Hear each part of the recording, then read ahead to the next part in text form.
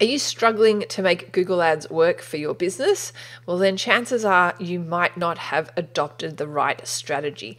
Getting the right strategy in Google Ads is critical to success. So, in this video, I'm going to walk you through my process of how I would devise a perfect strategy in a really competitive market. And obviously, you can ap- apply this process for your own industry in, with your own business. My name's Ilana. Welcome to the Teach Traffic YouTube channel. Let's go dive in because I'm really excited with the step by step process I'm going to teach you.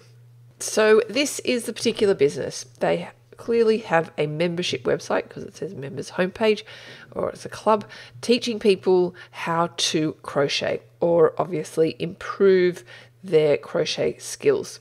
All right.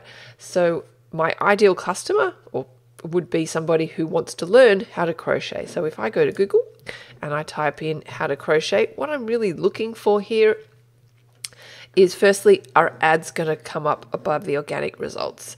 And importantly, no, they don't. That's a big red flag to me that I would wouldn't really bid on the keyword how to crochet because Google's not really showing any ads. And if I scroll down a little bit, there's really no ads below either.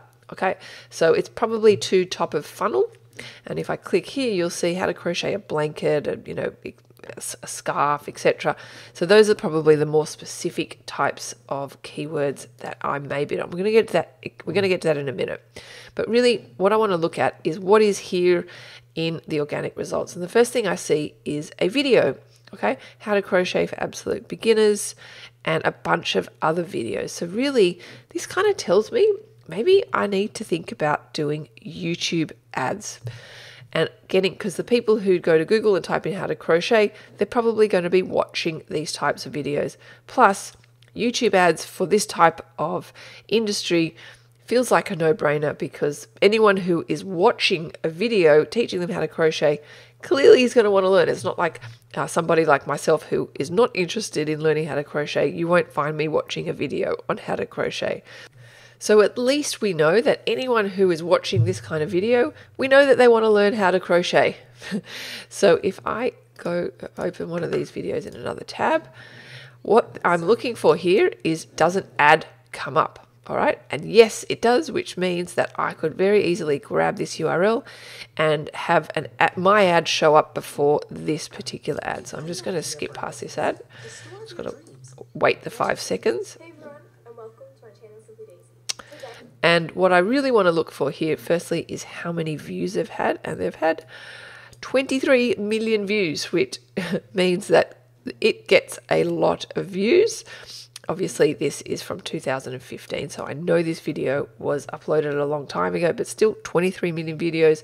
There's no doubt this video is still getting views, and it looks like it is exactly kind of my target audience. Okay, so that's really what I'm looking for when I'm finding videos. The first thing is, does it have enough views? And the second thing is, importantly, do they allow ads? All right, so if I have a look at some, oh, let's have a look at this particular video. So this does not have an ad that's coming up before it, so I would not be able to target this specific video. So I guess there's a bit of a time consuming process finding these videos and we could also just go to YouTube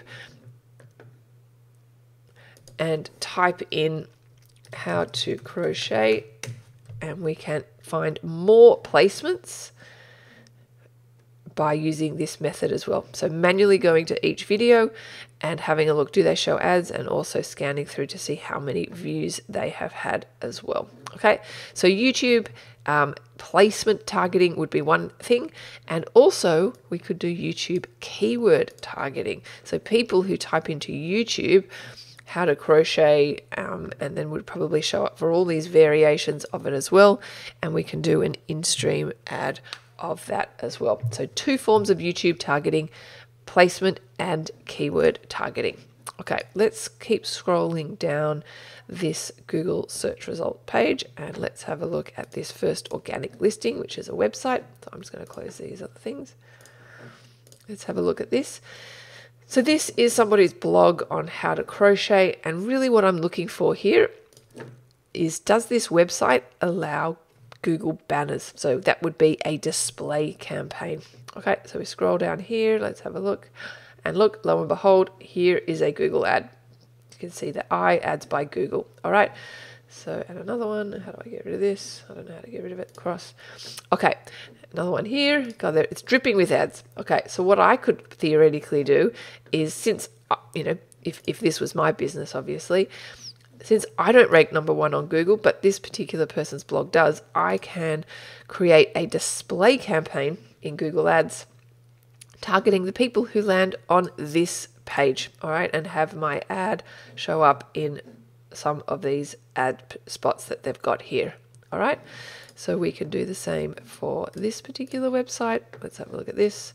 Once again, we're looking for, and there is a Google ad, fantastic. So that's another potential display placement that we can have. Uh, wikihow.life, I don't know what this is, but let's have a look. Uh, this probably would not. Oh, there you go, Google Ads. All right, so really, once again, another research process that we're going to go through to find uh, just possible display placements. So I'm not going to do a really broad display campaign. I'm going to think like a sniper and just be really, really selective with where I want to advertise. So the next thing we want to really think about is incorporating a Google search campaign to the overall strategy. Google search campaigns can be really effective in getting in front of uh, people who are wanting to learn or wanting to buy things. So we need to start thinking about um, what type of search campaign we would look to create. So if we go back to this website, uh, let's have a look at their store, which is obviously some of the things that they may sell. Let's see if we can kind of get some ideas. Let's get rid of this.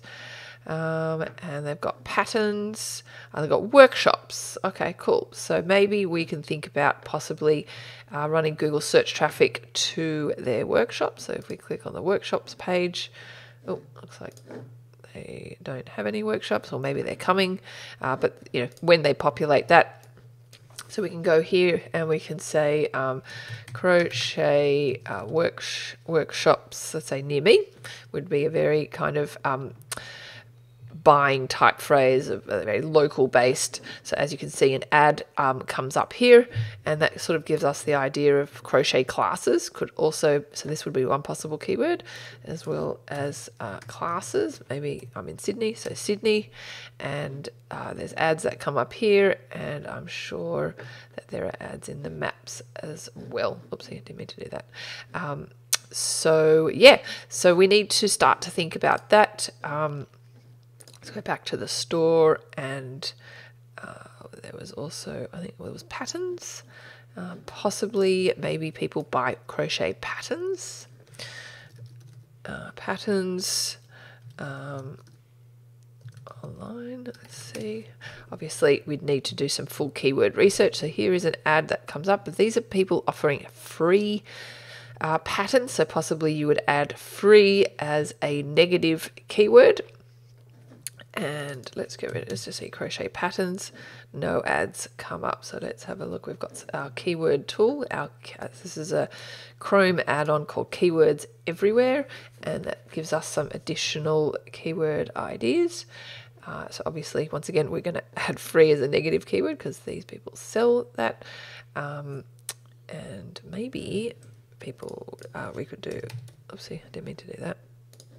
Buy crochet patterns and this is obviously people um, coming up, uh, ads coming up for people who uh, try and sell crochet patterns. So yeah, so there you have it. We would have a search campaign targeting, uh, you know, keywords like buy crochet patterns, uh, crochet workshops, uh, classes, etc.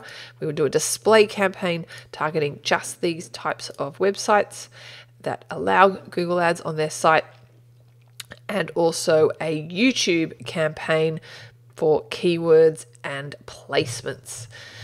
So that's what I would do starting out. Obviously, once we get some data, we would make some tweaks and optimizations along the way, turning off things that are not working and putting more money towards things that are working. If you enjoy this video, uh, hit that like button and subscribe to my channel because I load lots of awesome content. Thanks for watching.